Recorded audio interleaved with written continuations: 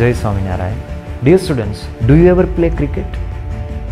Of course, you might be playing cricket also, you might be watching IPL also, isn't it? My dear students, today I would like to present a powerful lesson with the example of cricket. What is the game of cricket?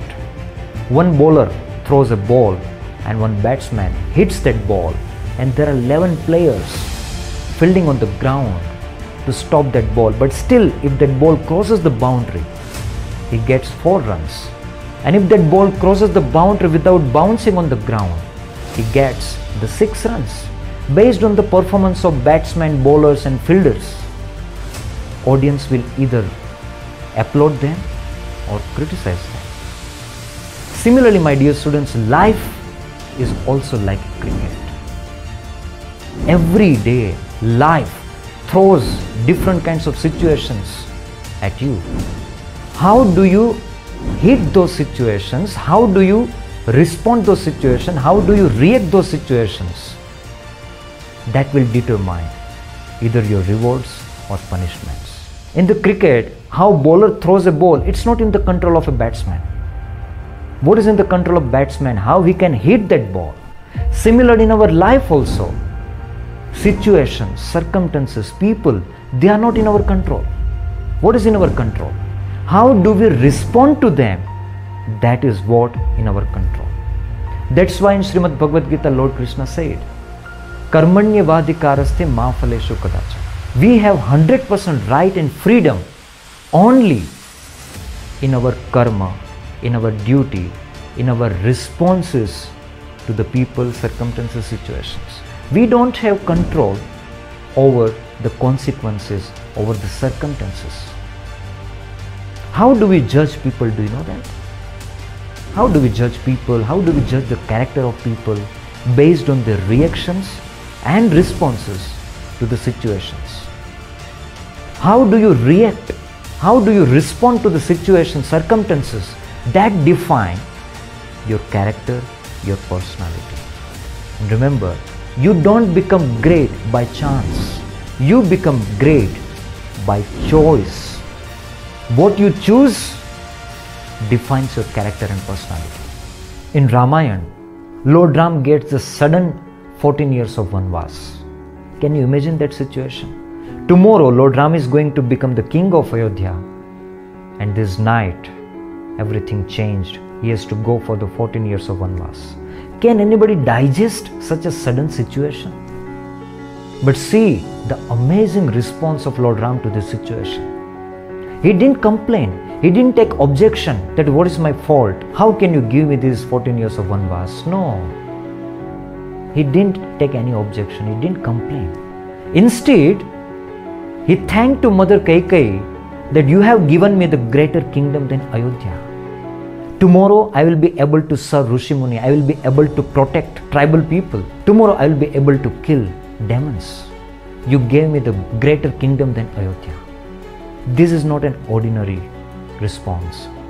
Later in Ramayana, we also know that Lord Ram sent Sitaji to the jungle. Sitaji also could have asked that what is my fault? But Sitaji didn't complain, didn't take objection, didn't ask like this. And see the response of Sitaji. Sitaji is worried about Lord Ram, but Sitaji has no complaint about Lord Ram. So how worst situation happens in your life doesn't count. But how best response you give to that situation, that counts in our life. Sachin Tendulkar, who is the legendary cricketer from India, who is known as a god of cricket, when he was playing his first match, he got hit with the ball on his face and face was profusely bleeding. Everybody gathered. His coach said that okay, let us go for the alternative player. At that moment, at that situation, Sachin Tendulkar said that no, I will play. No, I will play. This choice, this response to this situation made him a legendary cricketer. So, how do you respond to these situations makes you legendary or average? Ratan Tata, one of the most renowned Indian businessman and philanthropist, in 2008, when terrorists attacked on Mumbai Taj Mahal Palace Hotel, Ratan Tata responded this situation in a different way. At that time he was in USA. Immediately he flew back to Mumbai and he himself personally oversaw these recovery efforts. He paid the salaries to his hotel staff for next 6 months. Even he helped the surrounding people who got injured, who faced the damages. Situation was not in his control, but response was in his control. And response makes men great. Nelson Mandela. Mandela spent his 27 years in the prison for his political activism. 27 years. Can you imagine? Almost double to 14 years. 27 years he was in the jail, but when he came out, he responded this situation with forgiveness and reconciliation. He didn't go angry. He didn't go negative. He dealt this situation with forgiveness and with big heart. Now my question to you is how would you respond when you fail in your work? When people criticize you? When you lose your job? When you lose money? When your friends become your enemies? When your friends betray you? When your own brother breaks your trust? When people cheat you? When your family go against you? When people question your character? When people insult you? When people ignore you? When people reject you? When you get accident, etc., etc. In these situations, will you give thoughtless reaction or thoughtful response? Now the main question is, on what basis should one respond to the situations?